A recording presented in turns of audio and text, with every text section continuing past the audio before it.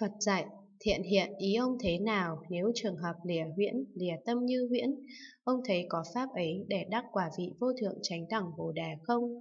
Thiện hiện thưa, bạch thế tôn không, con không thấy có trường hợp lìa huyễn, lìa tâm như huyễn, lại có pháp ấy để đắc quả vị vô thượng chánh đẳng Bồ Đề.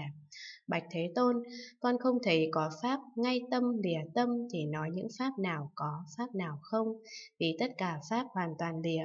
Nếu tất cả pháp hoàn toàn lìa thì không thể đưa ra pháp này là có, pháp này là không. Nếu pháp không thể đưa ra có không thì không thể nói có thể đắc quả vị vô thượng chánh đẳng Bồ Đà, chẳng phải pháp vô sở hữu, có thể đắc Bồ Đề. Vì sao? Vì tất cả Pháp đều vô sở hữu, tánh vô sở đắc, không nhiễm, không tịnh. Vì sao? Vì bát nhã ba la mật đa cho đến bố thí ba la mật đa đều hoàn toàn lìa. Pháp nội không cho đến pháp vô tính tự tính không cũng hoàn toàn lìa. chân như cho đến cảnh giới bất tư nghỉ cũng hoàn toàn lìa. Thành đế khổ tập diệt đạo cũng hoàn toàn lìa. Bốn niệm trụ cho đến tám chi thánh đạo cũng hoàn toàn lìa. Bốn tịnh lự, bốn vô lượng, bốn định vô sắc cũng hoàn toàn lìa. Pháp môn giải thoát không, vô tướng, vô nguyện cũng hoàn toàn lìa. Tám giải thoát cho đến mười biến xứ cũng hoàn toàn lìa.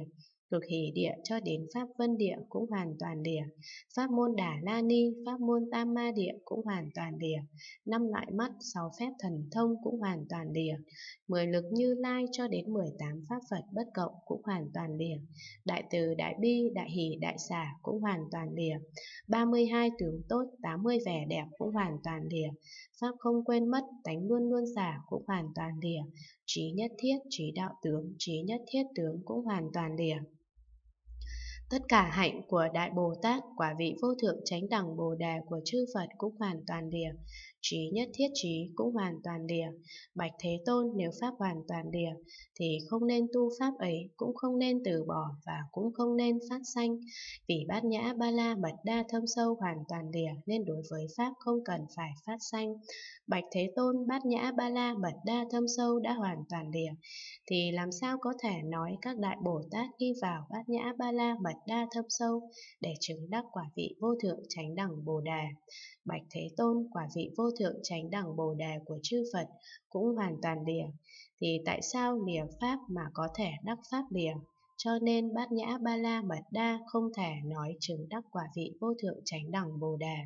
Phật dạy, thiện hiện, lành thay, lành thay, đúng vậy, đúng vậy, đúng như lời ông đã nói. Bát nhã ba la mật đa cho đến bố thí ba la mật đa hoàn toàn lìa, nói rộng cho đến trí nhất thiết trí cũng hoàn toàn lìa. Thiện hiện nên biết vì bát nhã ba la mật đa hoàn toàn lìa, nói rộng cho đến trí nhất thiết trí cũng hoàn toàn lìa, nên có thể nói Đại Bồ Tát chứng đắc quả vị vô thượng chánh đẳng Bồ Đề của chư Phật hoàn toàn lìa. Thiện hiện nên biết nếu bát nhã ba la mật đa chẳng phải hoàn toàn lìa, thì chẳng phải bát nhã ba la mật đa. Nói rộng cho đến nếu trí nhất thiết trí chẳng phải hoàn toàn địa thì chẳng phải trí nhất thiết trí. Thiện hiện nên biết vì bát nhã ba la mật đa hoàn toàn địa nên được gọi bát nhã ba la mật đa, nói rộng cho đến vì trí nhất thiết trí hoàn toàn địa nên được gọi trí nhất thiết trí. Cho nên này thiện hiện, các đại Bồ Tát đều y vào bát nhã ba la mật đa thâm sâu mà chứng đắc quả vị vô thượng chánh đẳng Bồ Đà. Thiện hiện nên biết, mặc dù không lìa Pháp mà có thể đắc Pháp lìa, nhưng đắc quả vị vô thượng chánh đẳng Bồ Đề đều y vào bát nhã ba la mật đa thâm sâu, cho nên chúng đại Bồ Tát muốn đắc quả vị vô thượng chánh đẳng Bồ Đề thì nên siêng năng tinh tấn tu học bát nhã ba la mật đa thâm sâu. Cụ thọ thiện hiện bạch Phật, bạch Thế Tôn ý nghĩa của các đại Bồ Tát hành là rất sâu xa. Phật dạy, Thiện hiện đúng vậy, đúng vậy, ý nghĩa mà các đại Bồ Tát hành là rất sâu xa. Thiện hiện nên biết các đại Bồ Tát có thể làm việc khó làm. Mặc dù hành ý nghĩa sâu xa như vậy nhưng không chứng pháp của thanh văn độc giác. Bây giờ thiện hiện bạch Phật, theo con hiểu ý nghĩa của Ngài nói, thì việc mà các đại Bồ Tát làm không khó, không nên nói họ có thể làm việc khó làm. Vì sao? Ý nghĩ mà các đại Bồ Tát chứng đều bất khả đắc, năng chứng bát nhã ba la mật đa cũng bất khả đắc, pháp chứng, người chứng, nơi trốn chứng, thời gian chứng cũng bất khả đắc.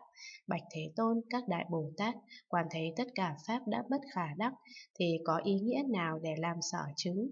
Có bát nhã ba la mật đa nào có thể năng chứng? Lại có những gì để tạo ra, những gì để chứng, pháp chứng, người chứng, nơi trốn chứng, thời gian chứng cũng lại như vậy. Tại sao chấp do đây mà chứng đắc quả vị vô thượng chánh đẳng Bồ Đề? Quả vị vô thượng chánh đẳng Bồ Đề còn không thể chứng đắc, thì làm sao chứng đắc pháp của hàng thanh văn độc giác? Bạch Thế Tôn nếu hành như vậy thì gọi là Bồ Tát hành bất khả đắc. Nếu các đại Bồ Tát có thể hành hạnh bất khả đắc như vậy thì không bị cản trở mê muội đối với tất cả pháp Bạch Thế Tôn, nếu các đại Bồ Tát nghe nói như vậy, tâm chẳng lo buồn, hối hận, sợ sệt, thối lui, thì đó là hành bát nhã ba la mật đa. Bạch Thế Tôn khi Đại Bồ Tát hành như vậy không thấy các tướng, không thấy ta tu hành, không thấy không tu hành, không thấy bát nhã ba la mật đa là pháp ta tu hành, không thấy quả vị vô thượng tránh đẳng Bồ Đề là pháp ta chứng, cũng lại không thấy nơi trốn chứng, thời gian chứng, vân vân. Bạch Thế Tôn, các Đại Bồ Tát ấy tu hành bát nhã Nhã ba la mật đa thâm sâu, không nghĩ như vậy, ta xa địa vị thanh văn độc giác, ta gần quả vị vô thượng chánh đẳng Bồ Đề ví như hư không, không nghĩ như vậy. Ta cách vật này gần hay xa? Vì sao? Vì hư không không di động, cũng không sai biệt, không phân biệt. Các đại Bồ Tát cũng lại như vậy. Hành bát nhã ba la mật đa thâm sâu, không nghĩ như vậy.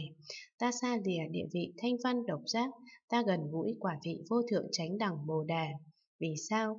Vì bát nhã ba la mật đa thâm sâu, không phân biệt các pháp, Giống như người huyễn hóa, không nghĩ như vậy, vật chất được huyễn hóa, thầy huyễn hóa thì gần ta, pháp mà tương tự huyễn hóa thì cách xa ta.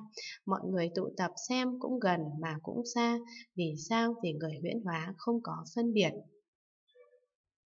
Các đại Bồ Tát cũng vậy, hành bát nhã ba la mật đa thâm sâu, không nghĩ như vậy. Ta cách xa địa vị thanh văn độc giác, ta gần quả vị vô thượng chánh đẳng Bồ Đề. Vì sao? Vì bát nhã ba la mật đa thâm sâu không phân biệt các pháp. Ví như ảnh tượng không nghĩ như vậy, ta nhờ vật kia mà hiện thì gần ta, pháp không nhờ đó để hiện thì cách xa ta. Vì sao? Hiện ảnh tượng không có phân biệt. Các đại Bồ Tát cũng vậy, hành bát nhã ba la mật đa thâm sâu không nghĩ như vậy, ta cách xa địa vị thanh văn độc giác, ta gần quả vị vô thượng chánh đẳng Bồ Đề. Vì sao? Vì bát nhã ba la mật đa thâm sâu, không phân biệt các pháp. Bạch Thế Tôn, các Bồ Tát hành bát nhã ba la mật đa thâm sâu, không thương không ghét. Vì sao? Vì tự tánh của bát nhã ba la mật đa thâm sâu và tất cả pháp thương ghét bất khả đắc, như chư như lai ứng tránh đẳng giác đối với tất cả pháp không thương không ghét. Các đại Bồ Tát hành bát nhã ba la mật đa thâm sâu cũng vậy, đối với tất cả pháp không thương không ghét. Vì sao? Vì chư Phật Bồ Tát và bát nhã ba la mật đa thâm sâu đều đoạn trừ thương ghét. Như chư như lai ứng tránh đẳng giác đoạn trừ hẳn tất cả vọng tưởng phân biệt. Các đại Bồ Tát hành bát nhã ba la mật đa thâm sâu cũng như vậy, chiến thắng đoạn trừ tất cả vọng tưởng phân biệt. Vì sao? Vì chư Phật Bồ Tát và bát nhã ba la mật đa thâm sâu không phân biệt các pháp. Như Lai ứng tránh đẳng giác không nghĩ như vậy.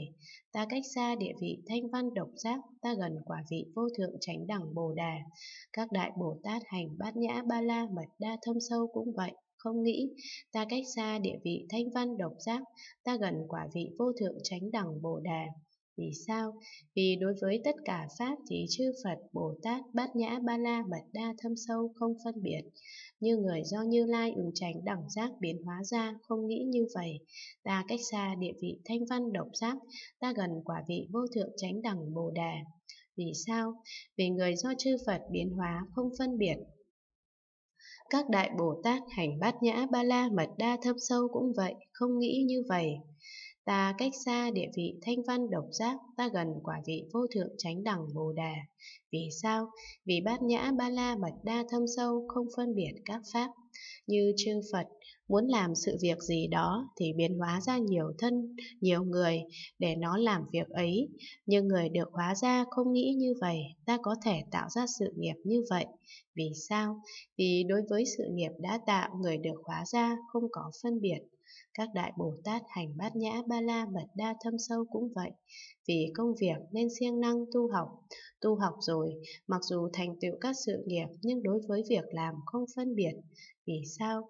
Vì bát nhã ba la mật đa thâm sâu không phân biệt các pháp.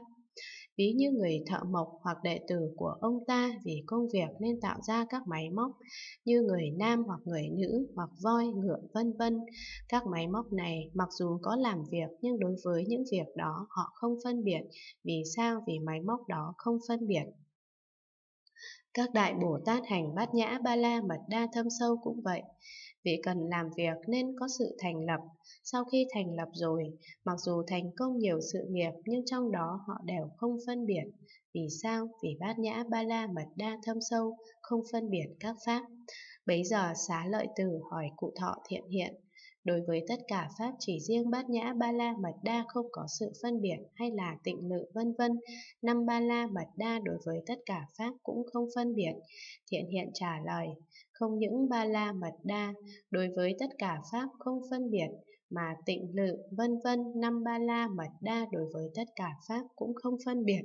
Xá lợi từ hỏi thiện hiện, Sáu pháp ba la mật đa đối với tất cả pháp không phân biệt, còn sắc uẩn cho đến thức uẩn đối với tất cả pháp cũng không phân biệt, nhãn xứ cho đến ý xứ đối với tất cả pháp cũng không phân biệt, sắc xứ cho đến pháp xứ đối với tất cả pháp cũng không phân biệt, nhãn giới cho đến ý giới đối với tất cả pháp cũng không phân biệt, sắc giới cho đến pháp giới đối với tất cả pháp cũng không phân biệt, nhãn thức giới cho đến ý thức giới đối với tất cả pháp cũng không phân biệt, nhãn xúc cho đến ý xúc đối với tất cả pháp cũng không phân biệt, các thọ do nhãn xúc làm duyên sanh ra cho đến các thọ do ý xúc làm duyên sanh ra đối với tất cả pháp cũng không phân biệt, địa giới cho đến thức giới đối với tất cả pháp cũng không phân biệt, nhân duyên cho đến tăng thượng duyên đối với tất cả pháp cũng không phân biệt, vô minh cho đến lão tử đối với tất cả pháp cũng không phân biệt, pháp nội không cho đến pháp vô tính tự tính không đối với tất cả pháp cũng không phân biệt, chân như cho đến cảnh giới bất tư nghỉ đối với tất cả pháp cũng không phân biệt, thành đế khổ tập diệt đạo đối với tất cả pháp cũng không phân biệt, bốn niệm trụ cho đến tám chi thánh đạo đối với tất cả pháp cũng không phân biệt bốn tịnh lự, bốn vô lượng, bốn định vô sắc đối với tất cả pháp cũng không phân biệt. Pháp môn giải thoát không vô tướng vô nguyện đối với tất cả pháp cũng không phân biệt. Tám giải thoát cho đến mười biến xứ đối với tất cả pháp cũng không phân biệt. Tịnh quán địa cho đến như lai địa đối với tất cả pháp cũng không phân biệt. Cực hỷ địa cho đến pháp vân địa đối với tất cả pháp cũng không phân biệt. Pháp môn đà la ni, pháp môn tam ma địa đối với tất cả pháp cũng không phân biệt năm loại mắt, sáu phép thần thông, đối với tất cả pháp cũng không phân biệt, mười lực như lai cho đến 18 pháp Phật bất cộng đối với tất cả pháp cũng không phân biệt, đại từ, đại bi, đại hỷ, đại xả đối với tất cả pháp cũng không phân biệt, 32 tướng tốt, 80 vẻ đẹp đối với tất cả pháp cũng không phân biệt, pháp không quên mất, tánh luôn luôn xả đối với tất cả pháp cũng không phân biệt, trí nhất thiết, trí đạo tướng, trí nhất thiết tướng đối với tất cả Pháp cũng không phân biệt, quả dự lưu cho đến độc giác Bồ Đề, đối với tất cả Pháp cũng không phân biệt, tất cả hạnh của Đại Bồ Tát, quả vị vô thượng chánh đẳng Bồ Đề của chư Phật, đối với tất cả Pháp cũng không phân biệt, cảnh giới hữu vi, cảnh giới vô vi, đối với tất cả Pháp cũng không phân biệt hay sao? Thiện hiện trả lời không những sáu pháp ba la mật đa đối với tất cả pháp không phân biệt, mà sắc cho đến cảnh giới vô vi đối với tất cả pháp cũng không phân biệt. Vì sao? Vì tánh tướng của tất cả pháp đều là không, không phân biệt. Xá lợi tử hỏi thiện hiện. Nếu tất cả pháp đều không phân biệt, vậy sao có sự khác nhau giữa năm đường sanh tử? Sao có sự khác nhau của dự lưu nhất lai, bất hoản, A-la-hán, độc giác, Bồ Tát và Như Lai? Thiện hiện trả lời, vì hữu tình phiền não điên đảo mà tạo ra các nghiệp thuộc về thân khẩu ý, do đó nên chiêu cảm lấy quả báo, Dục là nghiệp căn bản tạo ra quả dị thục, rồi căn cứ vào đó mà có sự khác nhau giữa năm đường, trời, người, địa ngục, bàng sanh, ngạ quỷ. Lại hỏi, sao lại có sự sai khác giữa các thánh vị như quả dự lưu vân vân?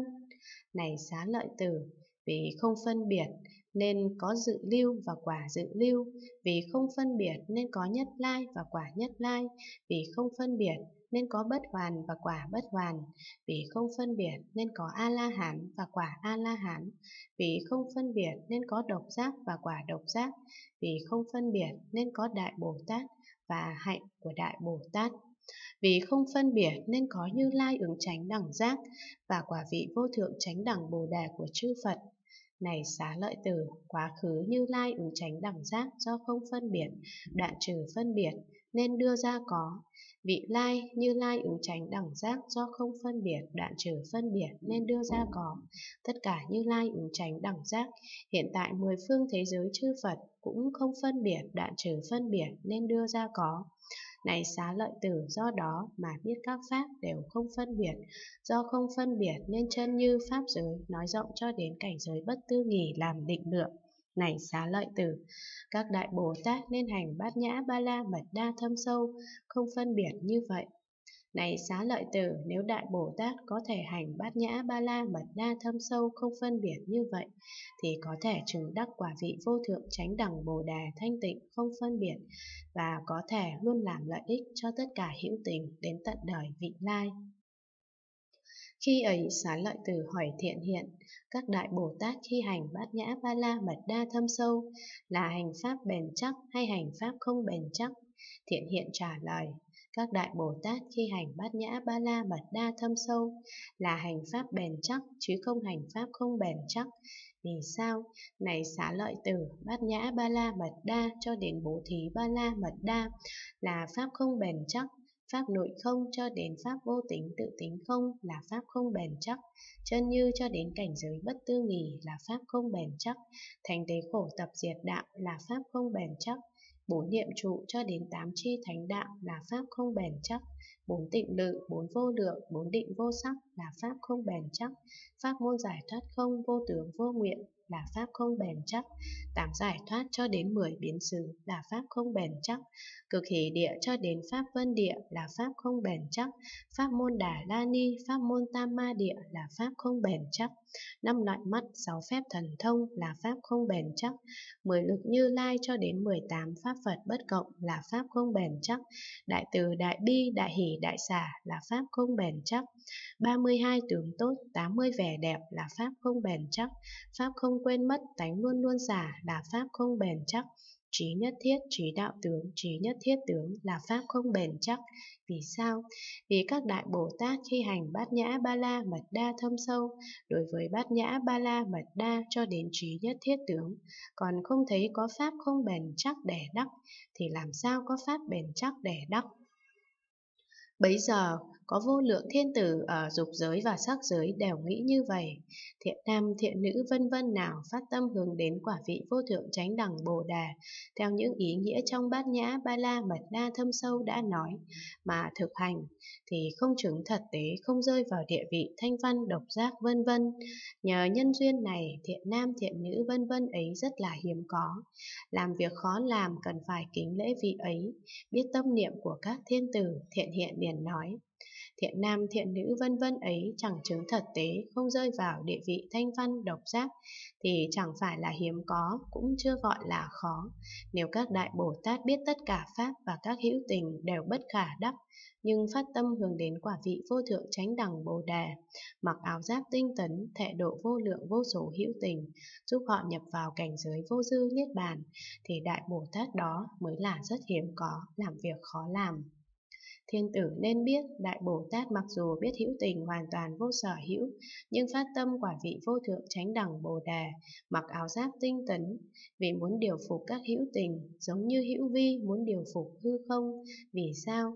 Này các thiên tử, vì hư không lìa nên biết tất cả hữu tình cũng lìa, vì hư không là không nên biết tất cả hữu tình cũng không, vì hư không không bền chắc nên biết tất cả hữu tình cũng không bền chắc, vì hư không vô sở hữu nên biết tất cả hữu hữu tình cũng vô sở hữu.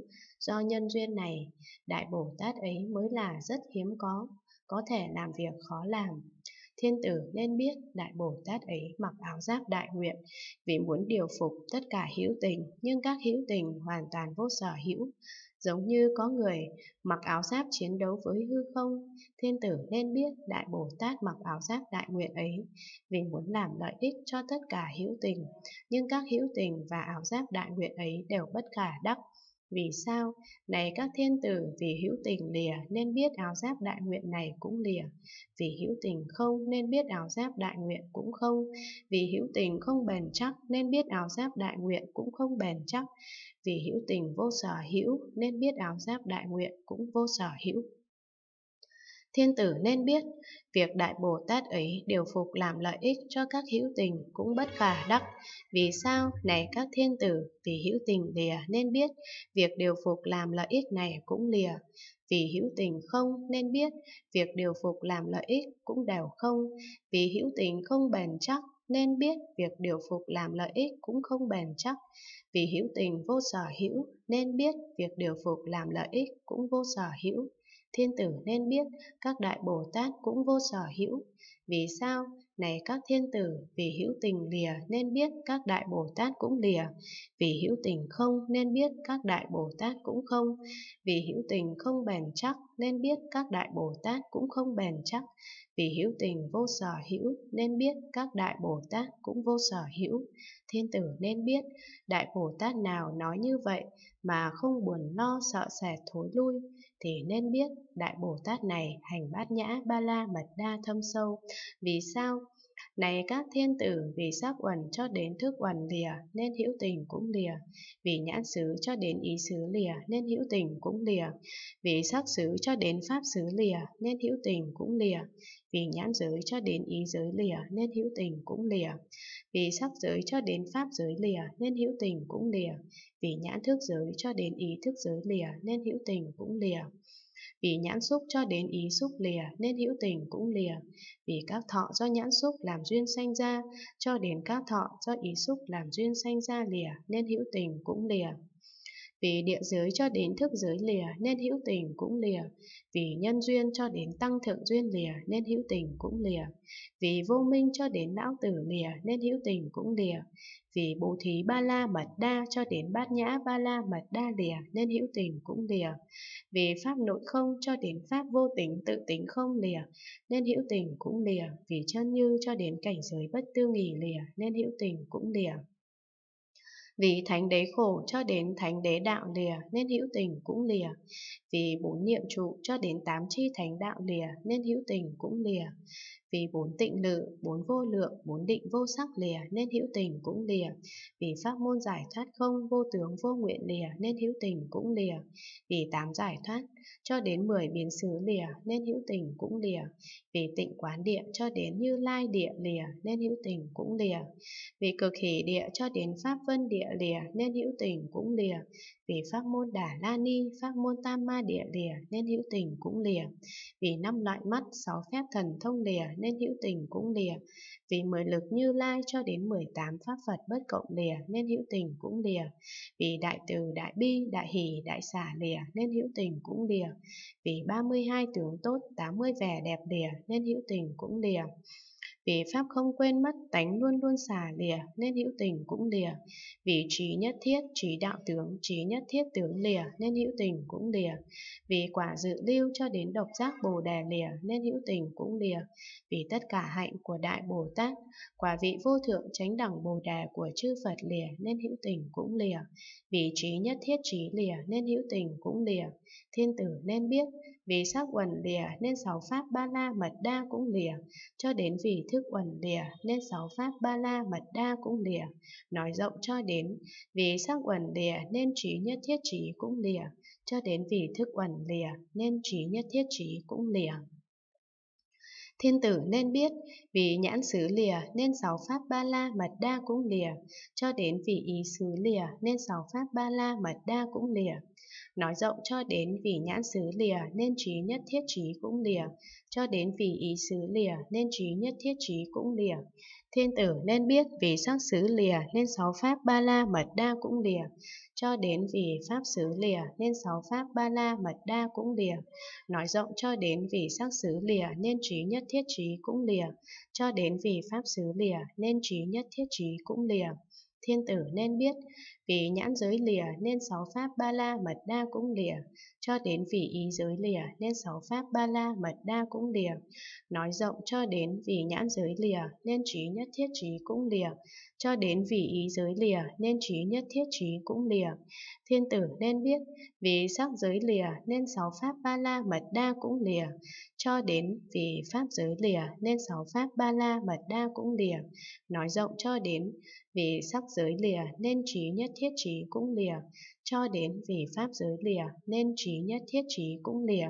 Thiên tử nên biết vì nhãn thức giới lìa nên sáu pháp ba la mật đa cũng lìa, cho đến vì ý thức giới lìa nên sáu pháp ba la mật đa cũng lìa. Nói rộng cho đến vì nhãn thức giới lìa nên trí nhất thiết trí cũng lìa, cho đến vì ý thức giới lìa nên trí nhất thiết trí cũng lìa. Thiên tử nên biết vì nhãn xúc lìa nên sáu pháp ba la mật đa cũng lìa, cho đến vì ý xúc lìa nên sáu pháp ba la mật đa cũng lìa. Nói rộng cho đến vì nhãn xúc lìa nên trí nhất thiết trí cũng lìa, cho đến vì ý xúc lìa nên trí nhất thiết trí cũng lìa. Thiên tử nên biết vì các thọ do nhãn xúc làm duyên sanh ra lìa nên sáu pháp ba la mật đa cũng lìa, cho đến vì các thọ do ý xúc làm duyên sanh ra lìa nên sáu pháp ba la mật đa cũng lìa nói rộng cho đến vì các thọ do nhãn xúc làm duyên sanh ra lìa nên trí nhất thiết trí cũng lìa, cho đến vì các thọ do ý xúc làm duyên sanh ra lìa nên trí nhất thiết trí cũng lìa. Thiên tử nên biết vì địa giới lìa nên sáu pháp ba la mật đa cũng lìa, cho đến vì ý